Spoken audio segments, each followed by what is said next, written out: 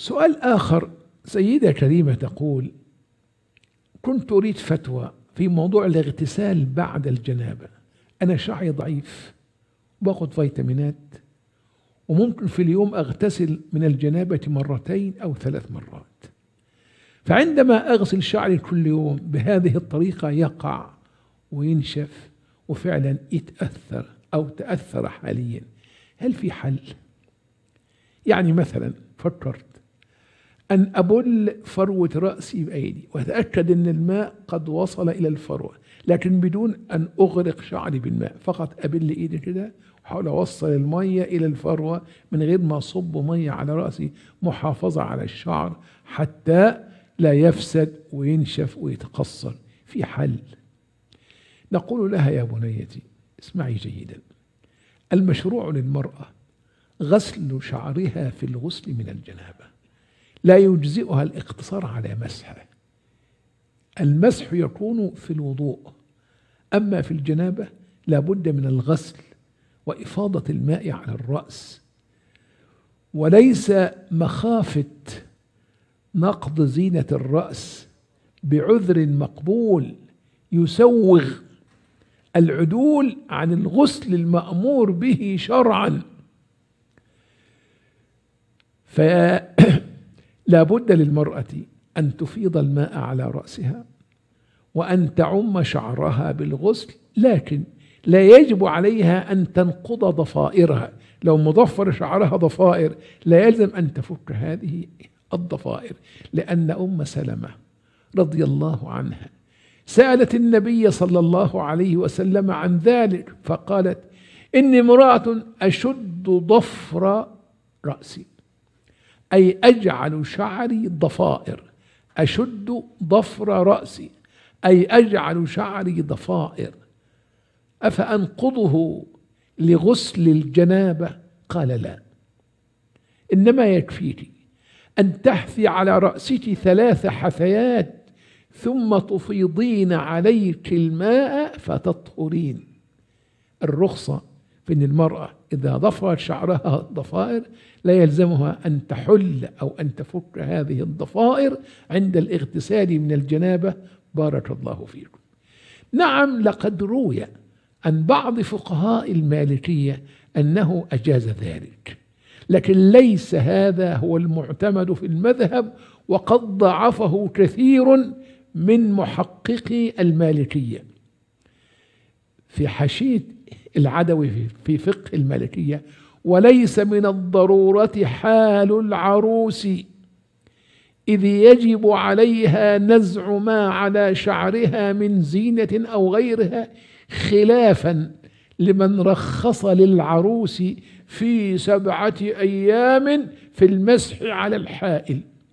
وهذا القول قد نسب إلى أبي عمران الفاسي أرخص للعروس أيام سابعها أن تمسح في الوضوء والغسل على ما في رأسها من الطيب وأن تتيمم إن كان في جسدها. قال لأن في إزالته إضاعة للمال. وهذا ليس ليس بسديد وليس بصحيح. رده محقق المالكية بقولهم وهذا خلاف المعروف من المذهب. فهو من الخلاف الشاذ الذي لا يجوز الفتوى به. تعلمون أحبتي في الله أن هناك آه، شذوذات وأقوال ضعيفة لأهل العلم والمنهج الصحيح في التعامل مع الزلات أنها تطوى فلا تروى وأن تمات فلا تذاع ولا تشاع ولا نطيرها بين الناس. لأنه في الوقت نفسه لا نهدم أصحابها ولا نشن الغارة عليهم ولا نسقط هيبتهم من قلوب الناس. هؤلاء حملة الشريعة.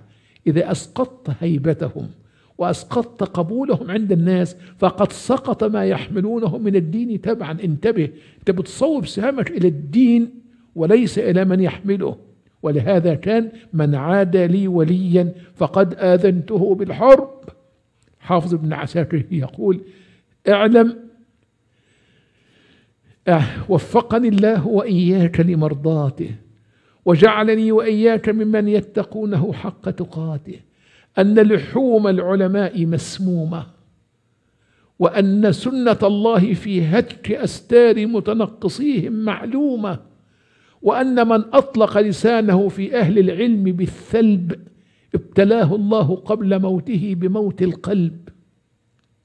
فالمنهج الصحيح في التعامل مع زلات أهل العلم اولا إن الزلة تمات.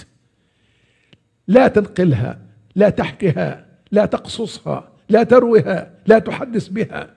أن تطوى فلا تروى أن تمات فلا تذاع ولا تشاع.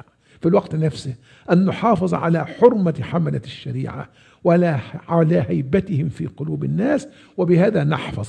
بين المحافظة على الدين فلم ندخل فيه ما ليس منه. المحافظة على الشريعة لم ندخل لم ندخل في نسيجها ما ليس منه. المحافظة على حملة الشريعة فلم نسقط هيبتهم ولا حرمتهم من قلوب الناس. من ذا الذي ما ساء قط؟ من ذا الذي ما ساء قط؟ ومن له الحسنى فقط؟ محمد الهادي الذي عليه جبريل هبط. إذا أنت لم تشرب مرارا على القذى ظمئت. وأي الناس تصفو مشاربه. إذا كنت في كل الأمور معاتبا صديقك. لم تلق الذي لا تعاتبه. ومن ذا الذي ترضى سجاياه كلها كفى المرء نبلا أن تعد معايبه.